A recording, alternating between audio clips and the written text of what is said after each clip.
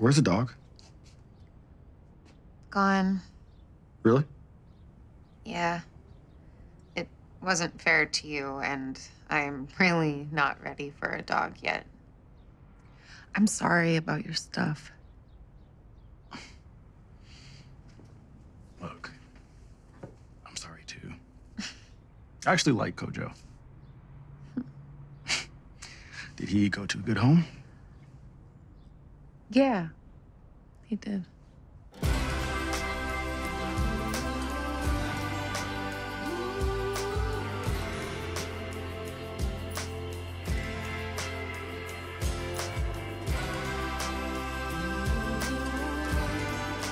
What's up? Close the door.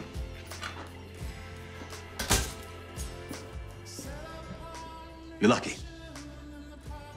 You had a good outcome last night.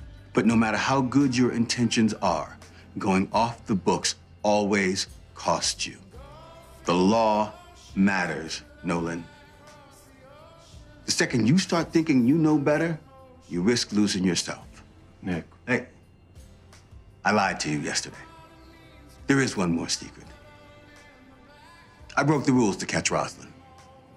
I went into her house without a warrant and used what I found there to get one. Somehow she knew. She never said anything. Would she have gone for you if she had? No. At this point, we'd caught her red handed. But if she hadn't been, if she'd gone free because I crossed the line, I never would have forgiven myself. Don't put yourself in that situation, you hear me? You don't want that kind of stress. No, I don't. Thank you for telling me. I see you caught him. Yeah, Good. yeah. Mitch, What's this?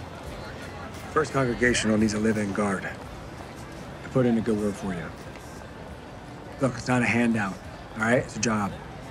And a roof over your head. Thanks. You're welcome. It's not your fault, you know? You know what happened to me? It's nobody's fault. Take care of yourself, Mitch, all right? Come on.